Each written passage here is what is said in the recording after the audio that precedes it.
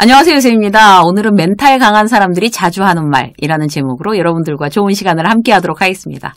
아, 오늘의 교재는 제가 아주 좋아하는 칼럼인데요.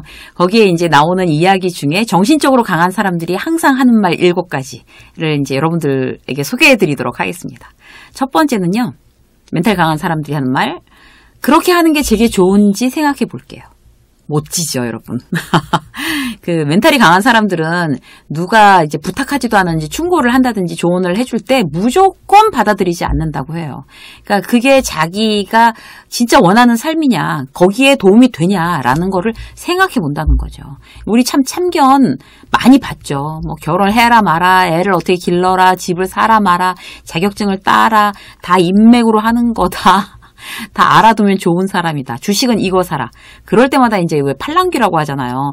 그런가? 그래? 막 이러면서 막 팔랑팔랑팔랑 하는 거죠.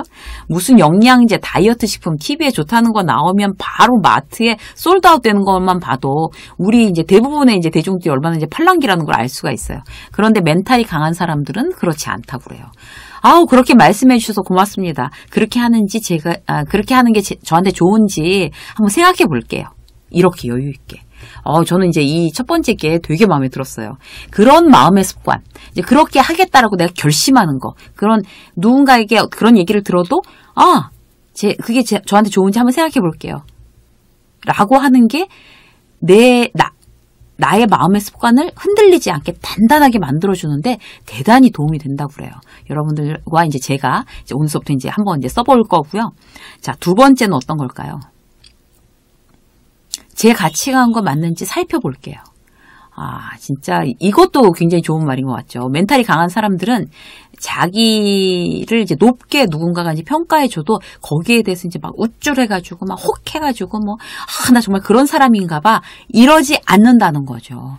어떤 이제 좋은 제안을 받아들이거나 뭐 아니면 좋은 어떤 스카웃 그런, 어, 이직 에 대한 어떤 그런 게 와도 이런 새로운 환경, 새로운 회사, 어떤 새로운 파트너가 내 가치관에 부합하는지를 면밀하게 살펴보는 거예요. 그거 갖고 확 기분 좋아져서 그냥 아, 나 절로 갈 거야. 연봉이 뭐 이만큼 뛸 거야.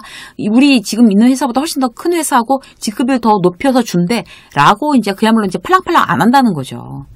그 이제 사람들이 어, 누구나 이제 시간과 에너지가 이제 한계가 있잖아요. 누구한테나. 그래서 자기 인생을 이제 효율적으로 잘 꾸려간다는 거. 이런 거는 뭔가 하면요. 자기의 한계가 있는 시간과 어떤 에너지를 제대로 사용한다는 그런 뜻이에요. 그렇기 때문에 이제 누구한테 제안 들었을 때 이거를 내 노력이나 어떤 시간을 투자해야 하는 것이라면 당연히 이제 시간과 노력을 투자해야 되는 거죠. 그러면 한 달, 1년 거기에 내가 이제 이거를 몇 번째 우선순위, 몇 번째 이제 중요한 순위로 어, 넣을 거냐는 걸 이제 생각하는 게 이제 맞는 거예요. 그래서 아 이거를 내가 과연 정말 이렇게 효율적으로 내가 한계가 있는 이런 시간과 노력을 기울여서 내 가치관에게 부합하는 거고 이걸 이제 우선순위로 둘 만한 일인가? 라는 거를 면밀하게 살펴보는 게 중요한 거지. 누가 그런 어떤 어 이제 제안이나 이런 걸 했다고 그래서 무조건 거기에 대해서 굉장히 좋아서 이렇게 구름에 붕 뜬 것처럼 그러지 않는다라는 거죠. 근데 우리 누구나 다 이게 붕 뜨기가 쉬워요. 칭찬에 약하고. 그렇기 때문에 자, 오늘서부터는 아, 제 가치관과 제 어떤 인생의 우선순위와 내 노력과 한계에 저울질 해서 잘 맞는지 살펴보겠습니다. 라고 이야기하는 어떤 이제 멘탈로 우리 스스로를 키우시자고요. 자, 세 번째. 더 상세히 말해주세요. 라고 얘기하는 거래요. 어, 그, 이 원고를 제가 이제 쓰면서 이제 칼럼을 읽어보면서 이제 저 스스로 굉장히 반성했어요.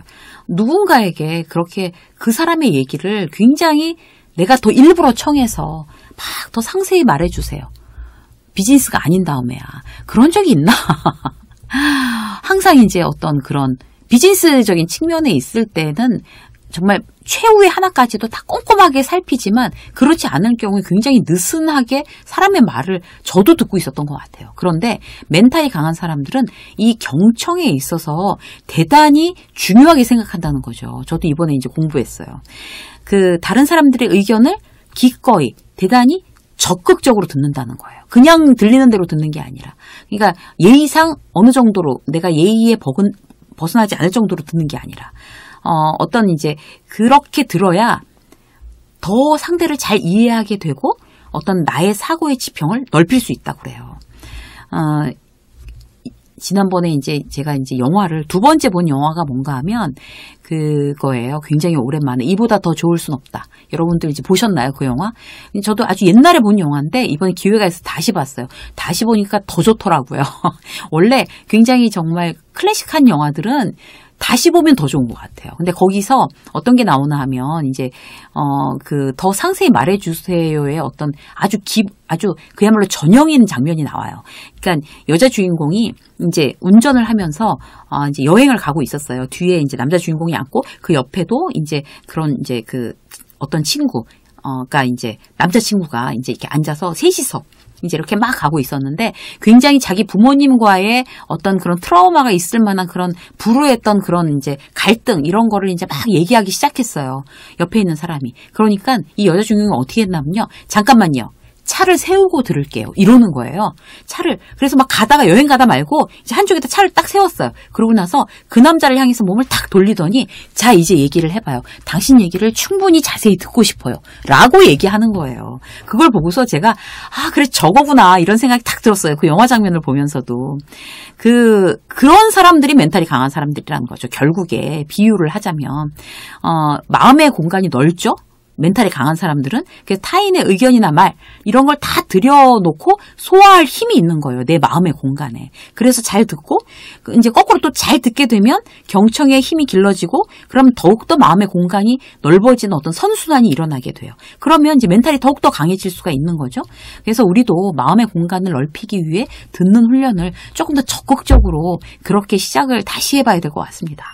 자, 네 번째는 자, 어렵지만 해보겠습니다. 이렇게 하는 거예요. 그러니까 일이 생기면 무조건 안 된다고 하거나 한숨 쉬거나 하, 투덜거리거나 겁내거나 그런 사람들이 주로 이제 멘탈이 약한 거죠. 멘탈이 강한 사람들은 무슨 일이든 이제 힘들다고 일단 불평부터 시작하지는 않는다고 해요.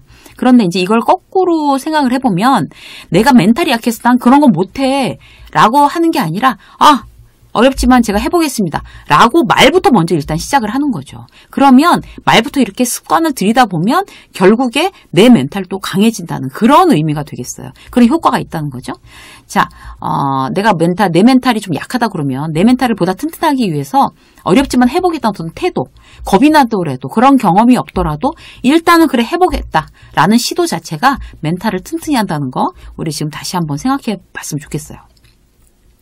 자, 다섯 번째는요, 미안합니다. 라고 얘기하는 거예요. 실력 있는 사람은 자기가 잘, 잘, 자기가 하던 게 잘못됐으면 인정하고 사과를 분명하게 한다는 거죠. 사과하는 자체가 이제 당당해 보이는 거죠. 근데 우리는 회사에 있을 때 굉장히 미안하다는 말에 인색한 사람들이 있죠. 마치 자기가 안 그랬다는 듯이 회피하고 막 남의 탓하고 막 발뺌하고 이러는 경우 우리 많이 봅니다. 그래서 그 모든 문제를 이제 내 탓으로 돌리면서 일일이 뭐 말끝마다 죄송합니다, 죄송합니다 하는 것도 자, 잘못된 일이지만 그렇게 또 해서도 안 돼요. 그렇지만 어, 어떤 자기가 행, 한 행동에 대해서 분명하게 책임을 지는 태도, 멘탈 강한 사람들이 어, 진심으로 사과. 아, 멘탈 강한 사람들은 진심으로 사과하고 잘못을 고치려는 노력에 당당하다고 합니다. 자, 여섯 번째는 아니요라고 얘기하는 거예요. 아니요. 그렇게 생각하지 않아요. 괜찮습니다. 미안하지만 거절하겠습니다. 그 멘탈이 강한 사람은 그런 죄책감, 어떤 미안함의 덫에 빠지지 않는데요. 그, 그 사람들은 이제 하기 싫은 일은 하기 싫다고 분명하게 얘기한다는 거예요. 그 왜 거절을 잘해야 되겠어요?